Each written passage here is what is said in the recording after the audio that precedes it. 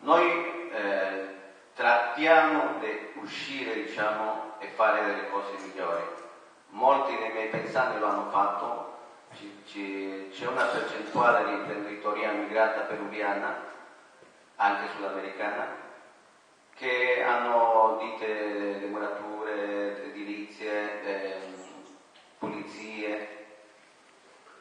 E forse il nostro contributo è questo, che noi ehm, come, come peruviani la nostra integrazione è stata fatta in un 80%.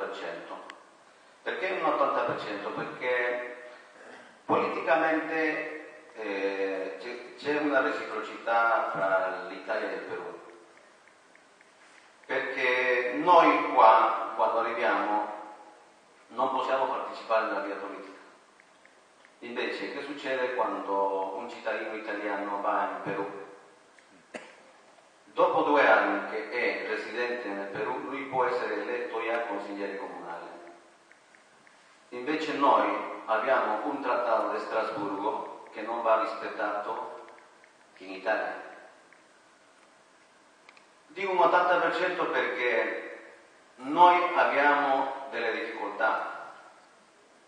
Vogliamo, esserci, parte, vogliamo essere partecipi anche nella vita politica.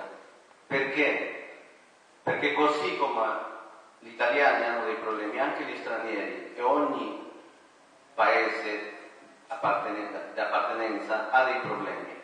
Uno di questi, per esempio, per citare, è noi come comitato, perché faccio parte anche del comitato per referente al continente americano, abbiamo uh, presentato dei, delle proposte di legge al governo peruviano per il ritorno dei peruviani che si trovano all'estero, in questo caso abbiamo partito da, dall'Italia, dall'Europa, perché con la crisi economica molti peruviani hanno cominciato a ritornare. Però c'è un problema. E I tempi de, che loro hanno lavorato, hanno, i contributi che loro hanno versato all'Inps si perdono, non si, non si può portare.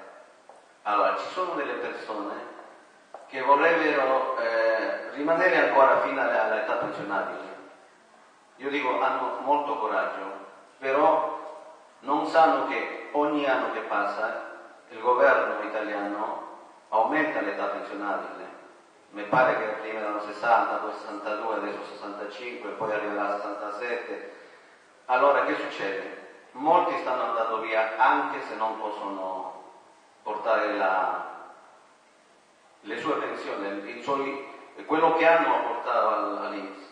A questo punto ci siamo mossi e anche come comitato sempre abbiamo fatto una nuova proposta di legge al, governo peruviano che i convegni, convegni bilaterali di reciprocità in materia di sicurezza sociale.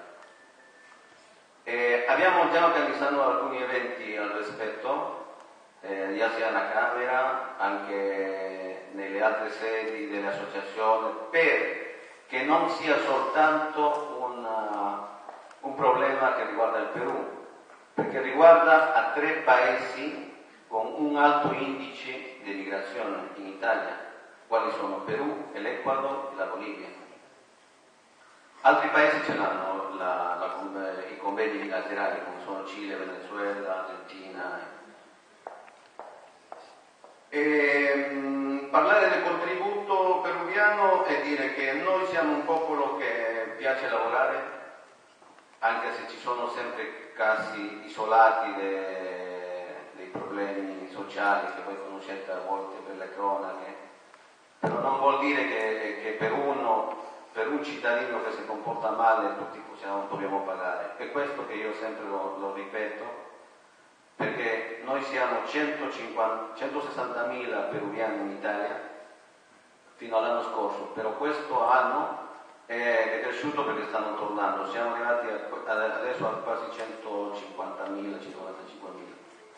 A Roma siamo a 17.000 registrati al consolato peruviano, la maggiore percentuale dei peruviani si trova al nord, Milano, eh, tutta la Lombardia.